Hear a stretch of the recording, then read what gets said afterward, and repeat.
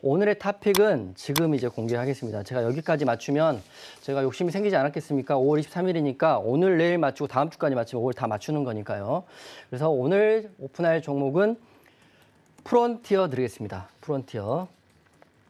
퓨런티어 차트 보겠습니다. 퓨런티어 차트를 볼 텐데 제가 퓨런티어를 갖고 온 이유가 있습니다. 자율주행차 관련주라고 보시면 될 것 같고요. 그리고 UAM 관련주가 갔는데 우리가 조금 생각을 달리 해볼 필요가 있습니다. 오늘 UAM이 갔기 때문에 내일 UAM을 추격 매수할 생각을 하시는 분들은 초보와 아마추어라고 생각하고요. UAM 다음에 뭡니까? 자율주행 서비스 있고 그다음에 인공지능 있고 로보틱스 있지 않습니까? 물론 자율주행이 내일 갈지 그 다음에 갈지는 누구도 모르는 거지만 우리가 생각의 전환을 했을 때 자율주행이 간다면 가장 먼저 갈 수 있는 대장 주가 뭘까라고 먼저 생각을 해보십시오, 여러분. 생각이 어려우시니까 노란 톡방에 들어오신다 오시면 될 것 같다 생각을 하는 거고요. 그래서 제가 퓨런티어를 왜 대장 자율주행이 대장주로 생각하냐면 다른 자율주행차 종목들은 현재 역배열도 좀 많고요.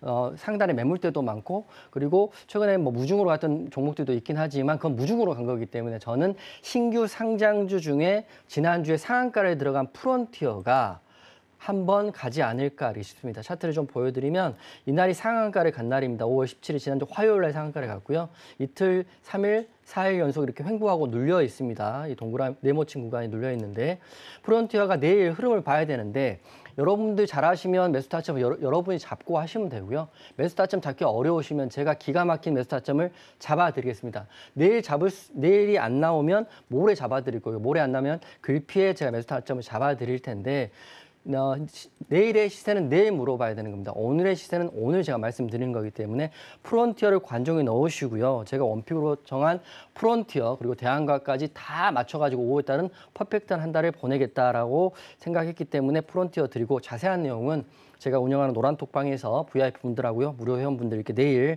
설명을 드리겠습니다.